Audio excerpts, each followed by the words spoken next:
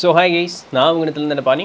So இன்றைக்கி டெஸ்னி of சோல்ஸ்லேருந்து என்ன செய்தி பார்க்க போகிறோன்னா ஒரு கொஞ்சம் சென்சிட்டிவான ஒரு டச்சிங்கான ஒரு சப்ஜெக்ட் அப்படிங்கிறது தான் வச்சுக்கோங்களேன்.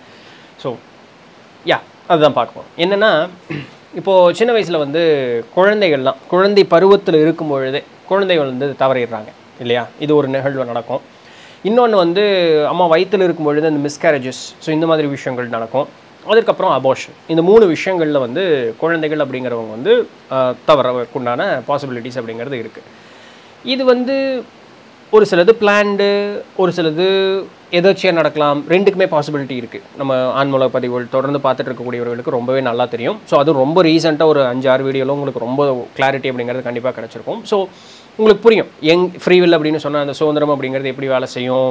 பிளான்ட் அப்படிங்கிறது எது அப்படிங்கிறது உங்களுக்கு புரிஞ்சிருக்கும். பட் என்னதான் இருந்தாலுமே அந்த பிரிவு அப்படின்னு சொல்லக்கூடியவங்க அந்த பிரிவை சந்தித்தவங்களுக்கு வந்து நீங்கள் என்ன சொன்னாலும் அவங்கனால அந்த ஒரு மனவேதனையிலேருந்து வெளியே வர்றது அப்படிங்கிறது கஷ்டம். ஒரு சிலர்னால முடியும். புரிஞ்சுக்கக்கூடிய ஆன்மாவாக அவங்க ஒரு முதிர்ந்த ஆன்மாவாக இருந்தாங்கன்னா அவங்களால ஈஸியாக அண்டர்ஸ்டாண்ட் பண்ணிக்க முடியும். பட் எல்லாருனாலையும் அது முடியறது இல்லை தான் இல்லையா? ஒரு சிலவங்களுக்கு அந்த கஷ்டம் இருக்குது இப்போ டாக்டர் மைக்கேல் நியூட்டன் புக்கினுடைய யாத்திரை அவரே சொல்கிறாரு நிறைய பேர் வந்து இந்த மாதிரி லெட்டர்ஸ் எழுதுவாங்க. நான் எனக்கு புரியும் ஏன் நடந்தது எதுக்கு நடந்தது அப்படின்னு சொல்லிட்டு பட் அவங்களால நம்மளால் சமாதானம் சொல்ல முடியாது. அவங்க ஏற்றுக்கக்கூடிய மனோநிலையில் அவங்க இல்லை. நம்ம வந்து நம்ம குழந்தை இழந்தது இல்லை அப்படிங்கிறதுனால அவர்களுடைய வழி வேதனைகளை வந்து நம்மளால் உணர முடியறது தான் இல்லை தான். அது உண்மை தான். அது ஒத்துக்கிடணும். ஏன்னா அந்த வேதனையை நம்ம இன்னும் உணரல. அதனால் நம்ம நம்மளுடைய இடத்துலேருந்து அவங்களுக்கு ஆயிரம் சமாதானம் சொல்லலாம். ஆனால் அந்த இழந்தவனுக்கு உண்டான வேதனை அப்படிங்கிறது அது அவனுக்கு உண்டானது தான் அப்போது இதெல்லாம் ஏன் நடக்குது? இதுக்கும் காரணம் இருக்கா அப்படின்னு பார்த்தோம்னா உண்மையிலுமே காரணம் அப்படிங்கிறது இருக்குது இப்போ இந்த விஷயங்கள் நடக்கும் பொழுது சின்ன குழந்தை இறந்துருச்சு அப்படின்னு சொன்னால் இதுக்கு வந்து அப்பா அம்மா தான் காரணம். இவன் என்னமோ முன்னாடி பஞ்சாயத்து பண்ணியிருக்கான். அப்பாவோ அம்மாவோ இந்த இந்த பிறப்புலையோ இல்லை முந்தின பிறப்புலையோ என்னமோ பாவம் செஞ்சுருக்கான். ரெண்டு பேர்த்துல அவனோ பாவம் செஞ்சுருக்கான். அதனால தான் அவன் நம்ம ஊரில் இப்படியே பேசுவாங்க. அவன் செஞ்ச பாவத்துக்கு தான் குழந்தைய தின்றுச்சுமாங்க இதே வார்த்தை பயன்படுத்துவாங்க. நல்லா காதில் கேட்டிருக்கேன். சரிங்களா? இதே வார்த்தை பயன்படுத்துவாங்க. உண்மை அப்படி கிடையாது உண்மையாலுமே. இது ஃபஸ்ட்டு விஷயம். இதில் நம்ம நோட் பண்ணி வச்சுங்க. இருக்குது பட் எல்லா நேரத்துலையும் அது உண்மை அப்படிங்கிறது கிடையாது. அதனால இதை ஃபஸ்ட்டு நோட் பண்ணி வச்சுக்கணும். ரெண்டாவது பார்த்தோம்னா கொஞ்சம் வயசு முதிர்ந்து வாழ்ந்துட்டாங்க ஒரு டீனேஜ் அடலன்சன்ஸ் அப்படி வந்துருச்சு. ஸோ அந்த நேரத்தில் இறப்பு அப்படிங்கும்பொழுது அவன் தான் காரணம் அப்படிங்கிறாங்க. இதுவும் தவறான ஒரு புரிதல். சரிங்களா? ஸோ ரெண்டுமே குழந்தையும் அப்பா அம்மா அப்படின்னு சொல்லக்கூடியது வந்து ரெண்டு ஒரு பாண்டில் தான் இங்கே கீழே வருது. ஒருத்தனால் இன்னொருத்தன் போகிறான் ஒருத்தனால் இன்னொருத்தன் போகிறான்னு கிடையாது. இது இது ஒரு நிகழ்வு நடக்குதுன்னா அது ரெண்டு பேர்த்துக்குமே சம்பந்தத்தோடு தான் இந்த ஒரு நிகழ்வு அப்படிங்கிறது நடக்கும். இவன் செஞ்சதுனால இப்படி நடந்துருச்சு இவனுடைய நாள் இப்படி நடந்துருச்சுங்கிறது கிடையாது. அதை நம்ம ரொம்ப ஊர்ஜிதமாக நம்ம தெளிவாக நம்ம வந்து நம்ம புரிஞ்சுக்கணும். ஸோ இந்த ஒரு விஷயத்தில் பார்க்கும்பொழுது இப்போ இந்த கர்மம் அப்படின்னு சொல்கிறோம் இல்லையா? முன்வினை கர்மம் அப்படிங்கிறப்ப இது இது இந்த எக்ஸாம்பிள் சொன்னோன்னா உங்களுக்கு புரியும். ஒரு இவர்கிட்ட வந்து ஒரு ஒரு சப்ஜெக்ட் அவங்க சொல்கிறாங்க பாருங்கள் இவருடைய எட்டு வயசு குழந்தை பெண் குழந்தை வந்து இவர் இழந்துட்டார். அதுக்கப்புறம் தான் இவர்கிட்ட வராரு. டாக்டர்கிட்ட பாஸ் லைஃப் ரெக்ரேஷனுக்கு வராரு. இப்போ வந்து பார்க்கும்பொழுது இவங்க பேசுகிறாங்க பிஎல்ஆரில் உட்கார வச்சு பார்க்கும்போது இவருடைய முந்தைய பிறவியில் இவங்க லண்டனில் பத்தொன்பதாம் நூற்றாண்டில். லண்டனில் வந்து ஒரு மிகப்பெரிய ஒரு செல்வந்தர் ரொம்ப பெரிய ஆள். சரிங்களா? ரொம்ப ரொம்ப பெரிய பணக்காரன். பத்தொன்பதாம் நூற்றாண்டில் இருந்த ஒருத்தர். இவர் வாழ்ந்த இடத்துல பார்த்தீங்க அப்படின்னு சொன்னால் நிறைய குழந்தைகள் வந்து அந்த ரோட்லேயே அது பாட்டுக்கு சுற்றிட்டுருக்கோம் கல்யாணம் ஆகாமல் பெண்கள் வந்து குழந்தை பெற்று அந்த பெண்களையும் கண்டுக்குவாமல் அப்படியே விட்டுருப்பாங்க. குழந்தைகள் நிறையா இருக்கும். ஸோ இந்த மாதிரி ஒரு மாதிரி கச்சகஜன் அவர் இவர் பயங்கர பெரிய ஆள். ஆனால் அவர் சுற்றி வந்து இந்த மாதிரி நிறைய விஷயங்கள் இவர் பார்ப்பது உண்டான் அப்போ இந்த வண்டியில் வந்து இவர் இப்படி தட கடந்து போகும்போதெல்லாம் இவர் இப்படி பார்த்துட்டே போகும்போது நினச்சிக்கு வரான். நான் ஏன் அதை கண்டுக்கணும்? அதான் அவன் பெற்றவனுடைய கடமை.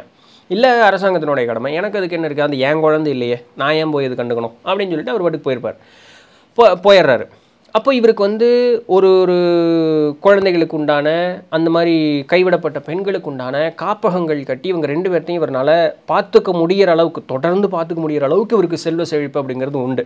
ஆனால் இவர் அதை பற்றி கண்டுக்கவே இல்லை. அந்த பிறப்பு முடிஞ்சுட்டு ஆன்மூலகம் போகும்பொழுது தான் இவருக்கு வந்து இப்படி ஒரு காரியம் பண்ணிட்டோமே அப்படின்னு ஒரு உறுத்தல் வர சரி. இந்த வழி வேதனையை நானும் உணவு அனுபவிச்சு பார்க்குறேன். எனக்கு தெரியல. நான் அவர் ஒரு லத்தார்ஜிக்காக இருந்தேன். எனக்கு இப்பவும் இருக்குது பட் அது தவறு அப்படிங்கிறத என்னால் உணர முடியுது. பட் அதை நான் என்னுடைய லைஃப்பில் அனுபவிச்சு பார்த்தா தான் சரியாக இருக்கும் அப்படிங்கிறதுக்காக இந்த பிறப்பை அவங்களுக்கு எடுத்துகிட்டு வரும்பொழுது இந்த பிறப்பில் அவங்களுடைய எட்டு வயது மகளை வந்து அவருங்க இழக்கிறாங்க. அப்போ அவர் சொல்கிறாரு எனக்கு இப்போ பாஸ்ட் லைஃப் ரெக்ரேஷன் உட்கார வச்சு பார்க்கும்பொழுது ஓ இப்படி தான் இதனால தான் நடந்ததுதான் எனக்கு புரியுது. பட் இருந்தாலுமே என்னுடைய மகளை இழந்தது இழந்தது தான் அந்த வேதனைக்கு வந்து எதுவுமே ஈடாகாது அப்படின்னு சொல்லக்கூடிய ஒரு வார்த்தையை சொல்கிறார் ஸோ உங்களுக்கு புரியும்னு நினைக்கிறேன் இப்போ. இந்த கர்ம பேலன்ஸ் அப்படிங்கிறது உங்களுக்கு எப்படி? இப்போ யார் வாங்கிட்டு வந்தா? இந்த ஒரு வாரத்தை அவரே தான் வாங்கிட்டு வந்தார். இப்போ இந்த குழந்தை வந்து அந்த சின்ன வயசில் இருந்ததுன்னா அந்த ஆன்மாவும் அதற்கு ஒப்புக்கொண்டு தான் வந்திருக்கும். நம்ம முன்னாடி நிறைய இதற்கு உண்டான எக்ஸாம்பிள்ஸ் பார்த்துருக்கோம். சரிங்களா? இப்போ நான் அடுத்து அப்படி சொல்லிகிட்டே வரேன் பாருங்க. இப்போது ஒரு அன்பார்ன் சைல்டு இப்போ வந்து ரெண்டு விஷயம் நடக்கும். வாலண்டியர் அண்ட் இன்வாலண்ட்ரி என்ன அபார்ஷன் இன்வாலண்ட்ரினா மிஸ்கேரேஜஸ் ஏதாவது அடிபடுறது மூலமாகவோ கீழே விழுகிறது மூலமாகவோ ஸோ இந்த மாதிரி அம்மாவுக்கு ஏதாவது மனம் ஏதாவது பாதிப்பு வர்றது இல்லை ஆக்சிடென்ட்ஸ் நடக்கிறது இந்த மாதிரி விஷயங்களில் கூட அந்த குழந்தை இறப்பு அப்படிங்கிறது நடக்கும். நான் முன்னமே சொன்ன மாதிரி இந்த க இதெல்லாமே ஒரு கர்ம பலனால் நடக்கிறது தான். குழந்தைக்கும் அப்பா அம்மாவுக்கும் ஒரு ஒரு ஒரு அண்டர்ஸ்டாண்டிங்கில் தான் மேலே இருந்து கீழே வர்றாங்க. இந்த மாதிரி விஷயங்கள் தான் நடக்குது. இப்போது இந்த மாதிரி நிகழ்வு நடக்கும்போது இவர் என்ன சொல்கிறாருன்னா நான் என்னுடைய இத்தனை வருஷ அனுபவத்தில் இந்த பாஸ்ட் லைஃப் ரிக்ரெஷன் எடுத்து இத்தனை வருஷ அனுபவத்தில் ஒரு கேஸ் கூட ஒரு தடவை கூட ஒரு ஆன்மா மூணு மாதத்துக்கு முன்னதாக அந்த உடலுக்குள்ளே வந்ததாக சரித்திரமே இல்லை அப்படிங்கிறார். ஏன்னு காரணத்தையும் அந்த ஆன்மாவே சொன்னதையவே சொல்கிறார் ஏன் காரணம்னா நான் அந்த உடலுக்கு வந்து ஒரு யூஸும் கிடையாது. மூளை முழுசாக உருவாயிருக்கவே உருவா உருவாயிருக்காது. மூளைங்கிறது உருவானாதான் அந்த இடத்துல அந்த கான்ஷியஸ்னஸ் அப்படின்னு சொல்லக்கூடிய அந்த உடலுக்குன்னு ஒரு தன்மை அந்த ஒரு ஈகோ அப்படிங்கிற அந்த இடத்துல ஃபார்ம் ஆகும். அது கூட நான் வந்து ஒர்க் பண்ணலாம். அந்த எலக்ட்ரிக் சர்க்கியூட் அந்த நியூரான்ஸ் எல்லாம் வந்திருக்கும். நான் அது கூட அந்த பாடி கூட சிங்க் ஆகிறதுக்குண்டான ஒரு ஒர்க் பண்ணணுன்னு இருக்கும். மூணு மாதத்துக்கு முன்னாடி இது ஒன்றுமே இருக்காது. நான் வந்து அங்கே ஒரு யூஸுமே கிடையாது அப்படிம்பாங்களாமா. அதனால் முதல் மூணு மாதத்தில் அவர்கள் வருவதே கிடையாது. ஆன்மா கீழே இறங்கி வருவதே கிடையாது. மூணு மாதத்து வரைக்கும் அது வெறும் பிண்டமாக தான் வயிற்றுக்குள்ளே கிடக்கும். அதற்கு முன்னதாக அந்த இறப்பு அப்படிங்கிறது பின்னாடி வராத நான் சொல்கிறேன் அப்போ இந்த ஒரு இந்த விஷயத்தை வந்து இவர் ஒரு ரேடியோவில் வந்து சொல்ல ரேடியோ தான் நினைக்கிறேன். ஸோ ரேடியோவில் வந்து இந்த ஒரு விஷயத்த சொல்ல. இவருடைய ஃப்ரெண்டு வந்து ஆரிகான் மாகாணத்தில் ஒரு பெரிய ஹாஸ்பிட்டலில் இந்த குழந்தையில பார்க்கக்கூடிய அந்த நர்ஸாக வந்து அவங்க இருக்காங்க. அப்போ இவர் பேசின பேச்சை அவங்க கேட்டுட்டு சொல்கிறாங்க மைக்கிள் உனக்கு என்ன பிரச்சனை இப்போது அந்த குழந்தை வந்து அந்த உடலுக்குள்ளே வந்தால் இப்போ உனக்கு என்ன பிரச்சனை? நீ ஏன் வரக்கூடாதுன்னு சொல்கிற நீ ஏன் வந்து அதை தடை போடுற? அப்படின்னு சொல்லி அந்தம்மா வந்து இவங்களோட டியரஸ்ட் ஃப்ரெண்டு அந்த அம்மா வந்து இவரை வந்து சாடி இருக்கிறாங்க. அப்போது இவர் டாக்டர் மைக்கேல் நியூட்டன் சொல்கிறாரு அம்மா இதுக்கு எனக்கு எந்த சம்மந்தமும் இல்லை. அதாவது இந்த முடிவெல்லாம் ஆன்மா தான் எடுக்குது. ஆன்மா எடுத்துகிட்டு இங்கே வருது. அந்த முடிவுகள்லாம் முழுக்க முழுக்க அவங்களோடது. இந்த மாதிரி நிகழ்வு நடக்குதுங்கிறத நான் வந்து தெரிஞ்சுட்டு நான் சொல்கிறேன் எங்காவது வந்த தூதுவனை கொண்டாதீங்கப்பா சம்மந்தப்பட்ட ஆளும் சம்மந்தம் உள்ள விஷயமும் இங்கே நடக்குது. நான் ஜஸ்ட் வேடிக்கை பார்த்து சொல்லிக்கிட்டு இருக்கேன். எனக்கு இதுக்கு எந்த சம்மந்தமும் இல்லைன்னு அவர் சொல்கிறார் அந்த மாதிரி ஏன் அந்த மாதிரி அந்த லேடி வந்து அப்படி டக்குன்னு ஒரு ட்ரிகர் ஆகிட்டாங்க அப்படின்னா அவங்களுடைய எக்ஸ்பீரியன்ஸில் ஏகப்பட்ட அபார்ஷன்ஸு மிஸ்கேரேஜஸ்ஸு சின்ன குழந்தைங்க இருக்கிறது ஏகப்பட்டதை அவங்க பார்த்துருக்காங்க. அப்போ அவங்கள பொறுத்த வரைக்கும் அவங்களுடைய மென்டாலிட்டியில் என்னென்னா சின்ன குழந்தைங்க இறக்குது அப்படின்னு சொன்னால் அது வந்து இறைவனுடைய ஒரு ஒரு ஒரு இறைவனுக்கு பாத்திரப்பட்ட ஒரு விஷயம். ஸோ அந்த ஆன்மா வந்து நேரடியாக சாமிகிட்ட போயிடும் அப்படிங்கிற அந்த ஒரு மன ஆறுதல் அவங்களுக்கு இருந்திருக்கு. அப்போ அது இல்லைன்னு சொல்லும்போது அவங்களால அதை ஏற்றுக்க முடியல. நீ ஏன் வந்து அந்த ஆன்மா வர்றதை தடுக்கிற? அப்படின்னு ஒரு கேள்வி. உண்மையிலுமே அப்படியெல்லாம் கிடையாது. ஆன்மா மூணு மாதத்திற்கு உள்ளாக வராமல் இருக்கிறதுக்கு உண்டான காரணம் பிகாஸ் அந்த இடத்துல மூளை ஃபார்ம் ஆகிருக்காது ஃபுல்லாகவே அந்த ஒரு காரணத்தினால தான் ஆன்மாக்கள் கீழே வருவதில்லை. இப்போது ஒரு பெண் வந்து ஒரு ஏழு மாதம் எட்டு மாதம் ஆயிட்டாங்க. படிக்கட்டில் நடந்து வர்றாங்க. கீழே விழுந்துடுறாங்க. சரிங்களா? அம்மா கொன்னாங்களா? அந்த குழந்தை வந்து தவறிடுது. இது ஒரு நிகழ்வு நடக்குது. இப்போ இந்த நிகழ்வு வந்து உன் ஆண்மூலத்தில் முடிவு செய்யப்பட்டதா? அப்படின்னு கேட்டால் தெரியாது.